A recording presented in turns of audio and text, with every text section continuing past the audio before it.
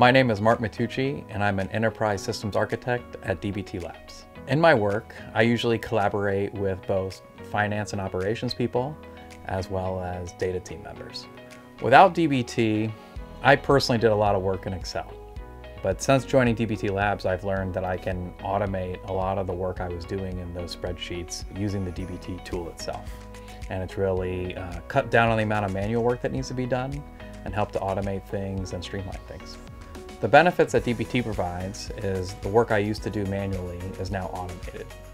Also, it sits behind version control, so I can track changes in the code over time. There's automated testing, so I can know once I put my code into production that it continues to work and I don't have to monitor it. And just being able to collaborate more effectively with people by sharing it through one common interface. It was all of the things that I had done in my career as an analytics engineer before, just done in a really streamlined and simplified way.